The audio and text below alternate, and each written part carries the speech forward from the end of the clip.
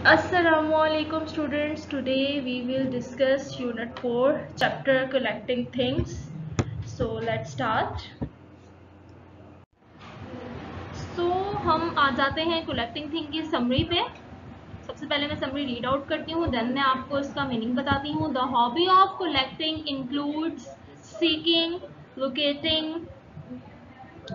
acquiring, organizing, cataloging, displaying, storing and maintaining items that are of interest to an individual collector.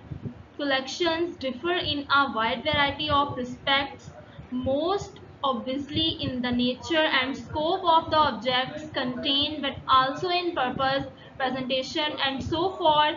The range of possible subjects for a collection is practically unlimited and collectors have realized a vast number of these possibilities in practice, although some much more popular than other in collections of manufactured item the object may be antique or simply collectible sorry simple collectible इसका meaning है the hobby of collecting जमा करने के शौक में ऐसी अशिया की तलाश तलाश करना हसूल तंजीम फहरत साजी डिस्प्लेइंग यानी नुमाइश स्टोरिंग ज़ख़ीरा अंदोज़ी एंड मेंटेनिंग आइटम्स और उनकी देखभाल करना that are of interest of interest to an individual collector जो किसी फ़र्द के जमा करने वाले के इंटरेस्ट यानी दिलचस्पी पर मुनहसर होता है।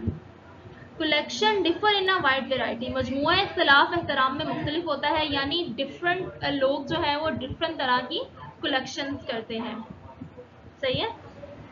फिर है most obviously in the nature and scope ज़ाहिर है, इसमें मौजूद अशिया की नोयत दायरा कार बल्कि मकसद भी मुख्तलिफ़ होगा। यानी अगर आप डिफरेंट चीज़ें कलेक्ट कर रहे हैं तो वो चीज़ें जो हैं, वो डिफरेंट होंगी। उनकी नेचर उनकी शेप उनका साइज़ हर लिहाज से चीज़ जो है, वो डिफरेंट होगी।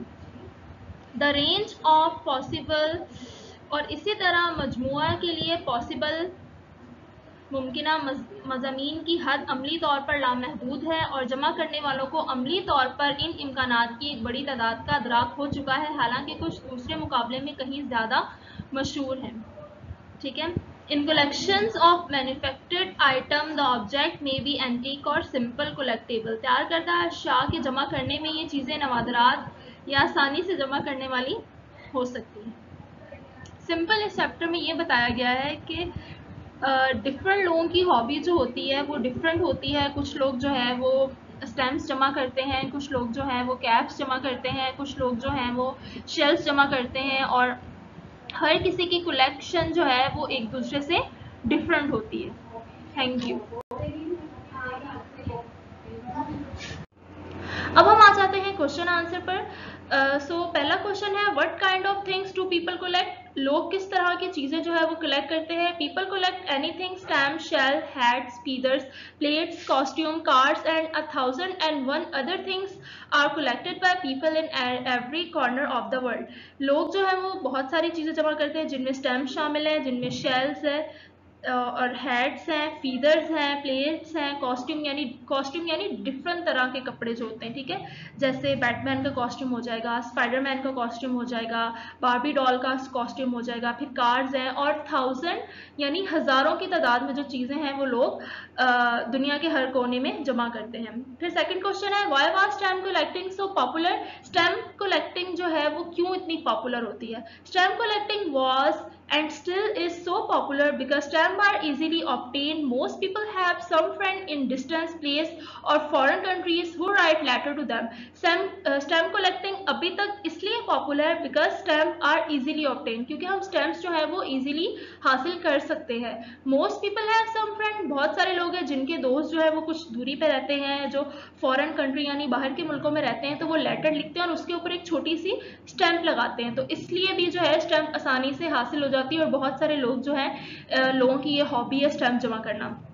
फिर क्वेश्चन नंबर थर्ड है why is the magnifying glass useful but not essential magnifying glass जो है, अभी भी जो है, उसे इस्तेमाल किया जाता है, लेकिन इतना वो नेसेसरी नहीं है। मतलब अब उसका इस्तेमाल कम भी हो रहा है। तो क्या वजह है? A magnifying glass is useful magnifying glass को हम उस सूरत में इस्तेमाल करते हैं। We want to study the leaves carefully जब हम पत्तों की स्टडी को जो है बहुत ही केयरफुली स्टडी करना चाहते हैं, क्योंकि वो चीज़ें जो हम आम आँख से नहीं देख सकते, वो हम मैग्नीफाइंग ग्लास का इस्तेमाल करते हैं। फॉर मोस्ट पर्पज ज़्यादातर चीज़ों के लिए अवर आइज़ गुड इनफ हमारी आँखें जो है वो अच्छी होती हैं।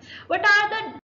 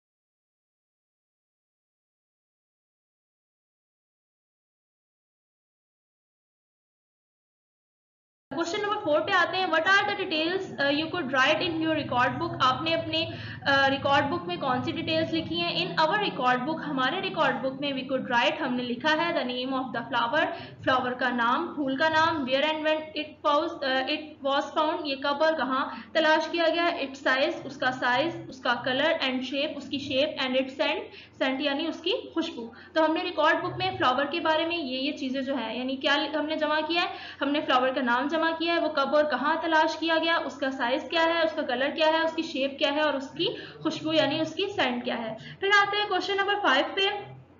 Why do you think newspaper is use in the flower press आपके ख्याल में न्यूज़पेपर जो है वो फ्लावर प्रेस में क्यों इस्तेमाल किया जाता है? Newspaper is use in the flower press newspaper इस्तेमाल किया जाता है फ्लावर प्रेस में बिकॉज़ क्योंकि इट कैन सोकअप वो जस्ट कर लेता है द प्लांट जूसेस प्लांट के जूसेस को टू ड्राई द फ्लावर ताकि फूलों को खुश किया जाए. इट इज़ मोर एब्जॉर्बेंट ये ज़्यादा एब्जॉर्बेंट है than most other type of flower यानी ये तरीका जो है वो ज़्यादा बेहतर है अदर टाइप ऑफ़ फ्लावर और किस्म के फ्लावर्स के लिए. तो इसलिए जो है हम न्यूज़पेपर को जो है वो फ्लावर प्रेस में इस्तेमाल करते हैं ताकि वो उनका सारा जूस जो है सोकअप यानी जस्ट कर ले, ताकि हम फूलों को ड्राई कर सकें। Thank you